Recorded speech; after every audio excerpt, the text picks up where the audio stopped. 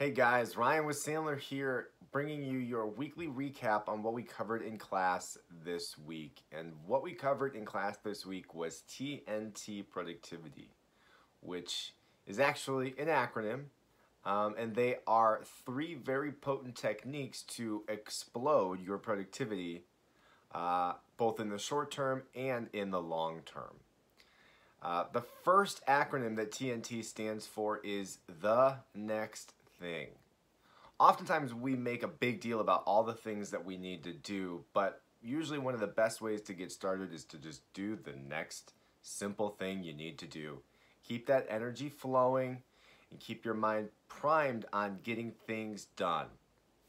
Results orientation is very powerful um, and, and making sure that we don't make things more complex than they need to allows our brain to stay sharp without feeling overloaded with having to make dozens and dozens of decisions throughout the day.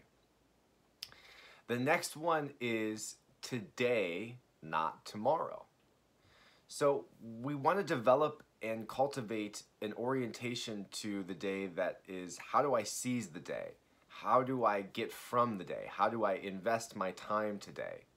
Um, knowing that we might not have the time tomorrow because there might be some surprise that we're obviously not aware of right now. So developing the habit of focusing on today and what you can get done today is a very powerful technique to actually underrated get a lot of things done. And the final acronym stands for this, not that.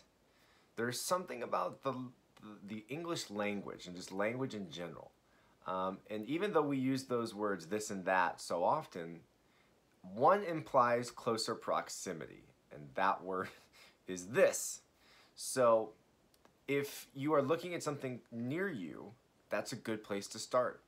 Oftentimes, just cleaning up our office, cleaning up our desk, or uh, cleaning up some room in our house sparks massive productivity for hours because clearing up things around us helps clean up our psychological space.